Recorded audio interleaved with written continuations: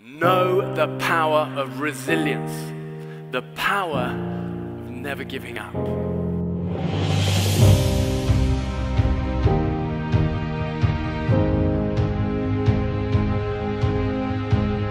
Life can be just as hard as any jungle to navigate.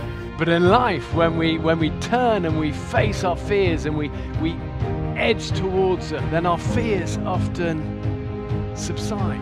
It's really hard in life to get to where you want to get to. It is near impossible to get there if you don't know where you want to go. It's the storms that make us strong.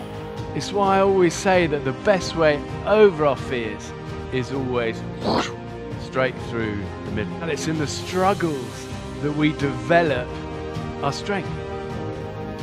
Life has also taught me this live in the moment. I don't enough. Because the only moments we really have are the now. So remember, you are made amazing. Stand tall and NGU.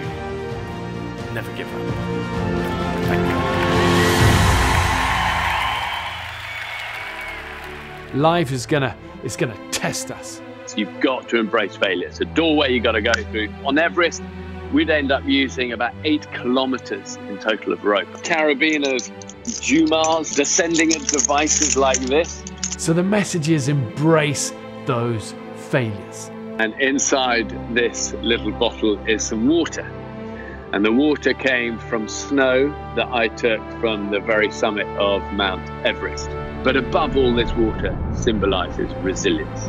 That with resilience, you can do anything. Uh, we're so much stronger together. We have to kind of hold each other's hands and then move forward, and then you all get strong, all more resilient. Always move forward towards our fears.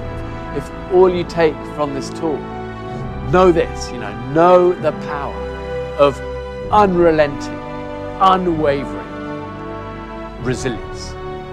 Never give up. N G U.